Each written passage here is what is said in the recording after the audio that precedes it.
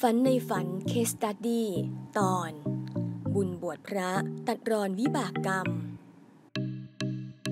โยมตางผมจะเดินเป็นหมอประจำตำบลต่อมาเปลี่ยนมาค้าวัวค้าควาย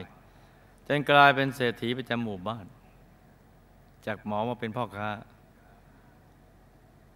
ยอมตายเป็นคนกว้างขวางในย่านนั้นมีที่ดินกว่าหนึ่งร้อยไร่ แต่ด้วยภาระหนี้สินที่ต้องส่งเสียลูกให้เรียนสูงสูง โยมตาจึงจำเป็นต้องนำที่ดินไปจำนองบ้างขายฝากบ้าง โดยคิดว่าจะถ่ายถอนคืนได้ในภายหลัง แต่แล้วโยมตาก็หมุนเงินไม่ทัน หัวหมุนเงินในสุดที่ดินทั้งหมดจึงตกเป็นของนายทุน ไม่เหลือเลยแม้แต่แปลงเดียว โยมตาชอบเล่นการมานานเป็นชีวิตจิตใจอ๋ออย่างนี้นี่แหละอย่างนี้นี่เอง ทั้งมันนันมวยและเล่นโบก โบกเป็นเกมมันนันที่นิยมกันมากในแถบอีสาน แต่ผู้เล่นจะครอบเม็ดมะขามผ่าซีกสองเม็ดด้วยกระดาหรือกระบอก แล้วแทงกันว่าเม็ดมะขามด้วยความเลื่องหงายจะออกคู่หรือขี้ เออ ไอ้แค่ คู่หรือขี้นี่ มันทำเอาหายนะได้นะ เนี่ยถูกความหายนะครอบ ไม่ใช่แค่นั้นนะครับ โยมตายังชอบดื่มเหล้าและสูบบุหรี่เป็นชีวิตจิตใจ สิบปีก่อนยมตาเสียชีวิตท่านดื่มหนักถึงขั้นเป็นแอลกอฮอลิซึมกลายเป็นคนที่ขาดเหล้าไม่ได้เลย ตรงนี้ผู้ผลิตผู้จำหน่ายสุราไม่รับผิดชอบตื่นขึ้นมาทีไรไม่ต้องดื่มเหล้าก่อนทุกครั้งเพราะพิษของน้ำเมา โยมตาก็เสียชีวิตด้วยโรคมะเร็งหลอดอาหารระยะสุดท้ายมีอายุได้73 ปีคำถาม โยมตามีวิบากกรรมใด ที่ดินที่มีอยู่จำนวนมากจึงหลุดลอยไปจากการจำนอง โยมตาตายแล้วไปอยู่ที่ไหนวิบากกรรมที่ค้าบัวค้าควายเล่นการพนันดื่มเหล้าสูบบุหรี่ส่งผลให้โยมตายอย่างไรบ้างท่านได้รับบุญที่อุทิศไปให้หรือไม่ มีอะไรฝากมาบอกไหมครับ บุญที่โยมตาเคยบวชตามประเพณีนั้น พอจะช่วยท่านได้บ้างไหมครับหลับตาฝันเป็นตุเป็นตาตื่นขึ้นมาขาวหนึ่งที แล้วก็นำมาไล่ฟังเป็นนิยายปรัมปรากันจา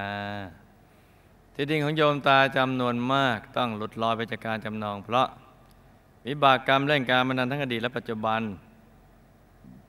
ทั้งทั้งที่ท่านมีทานบารมีจากในอดีตซึ่งทำให้ทานมีที่ดินในปัจจุบันมาก แต่ชาตินั้นท่านไม่ได้อธิษฐานจิตล้อมกรอบเอาไว้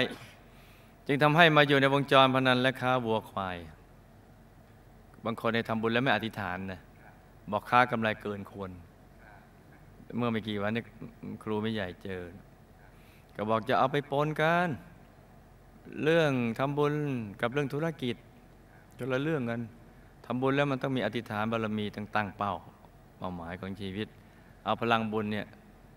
ไปเซตโปรแกรมให้ไปสู่เป้าหมายนั้นเหมือนอย่างพระสัมมาสัมพุทธเจ้า สั่งสมบุญบารมีแล้วท่านก็อธิษฐานบารมีจะขอเป็นพระสัมมาสัมพุทธเจ้า พระองค์หนึ่งในอนาคต นี่ไม่ได้ค้ากำไรเกินควรเลย ท่านทำบุญนิดท่านก็อธิษฐานอย่างเนี้ย ทำบุญปานกลางก็อธิษฐานอยากเป็นผู้เจ้าทำบุญใหญ่ก็อยากเป็นพระเจ้า ถ้าถ้าหากว่าท่านค้ากำไรกินควรแสดงว่าท่านท่านทานบุญนิดแล้ว อธิษฐานขอเป็นพระสัมมาสัมพุทธเจ้าก็ไม่ถูกเลยสิ เดี๋ยวนี้มาสอนกันยังไงก็ไม่รู้มันจะเพี้ยนกันไปใหญ่แล้ว ภาษาธรรมเหมือนกันต้องทำความเข้าใจดี เดี๋ยวเด็กๆเพี้ยนไปหาอ่านดูดูนะ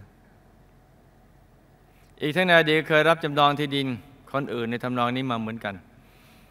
เป็นภาพในอดีตของโยมตาด้วยจ้ะ ตามทันไหมจ๊ะโยมตาตายแล้วก็ไปเป็นกุมพันจะต้องไปทำหน้าที่ในยมโลก 8 เดือน พักสี่เดือนจ้า วิบากกรรมค้าวัวค้าควายดื่มเหล้าสูบบุหรี่ก็จะทำให้ไปอยู่ในหมู่คนพาลจะทำให้มีโรคมาก อายุขัยสั้น เพราะค้าวัวควายให้เขาฆ่าจ้ะ ได้รับบุญที่อุทิศไปให้แล้ว จึงทำให้ท่านเข้าเวรในยมโลกน้อยลง ซึ่งท่านก็ดีใจและก็อยากได้รับบุญเพิ่มขึ้นอีกจ้าเพราะท่านอยากจะพ้นจากสภาพตรงนี้ บุญที่โยมตาบวชตามประเพณีได้ทำให้ท่านไม่ต้องไปถูกลงทันในยมโลก แต่ได้ไปเป็นกุมพันมาทำหน้าที่เป็นเจ้าหน้าที่ผู้ลงโทษแทนจ้ะเป็นเจ้าหน้าที่แทนแทนนักโทษ